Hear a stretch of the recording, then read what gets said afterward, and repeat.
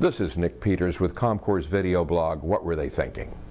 If you're a global brand tied to a certain international soccer star, you've got a messy marketing situation on your hands, as in Lionel Messi, considered by some to be the greatest soccer player in the world. Messi and his father were convicted this week of defrauding Spain of millions of dollars in income taxes. Besides stiff fines for both, Messi himself was sentenced to 21 months in jail. But under Spanish law, he can serve probation.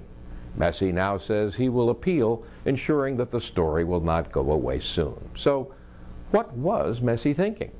He has the second highest net worth of any soccer player in the world, behind only retired British star David Beckham.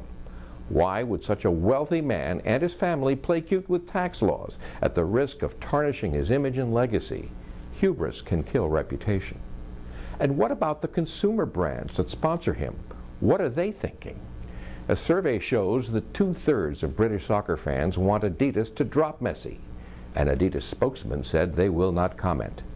India's Tata Motors issued a curt statement that it is reevaluating the impact of its spokesman conviction on its brand image.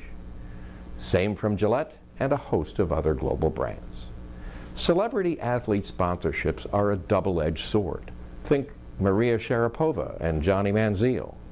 As to the Messi mess, we'll be watching to see who cleans up best.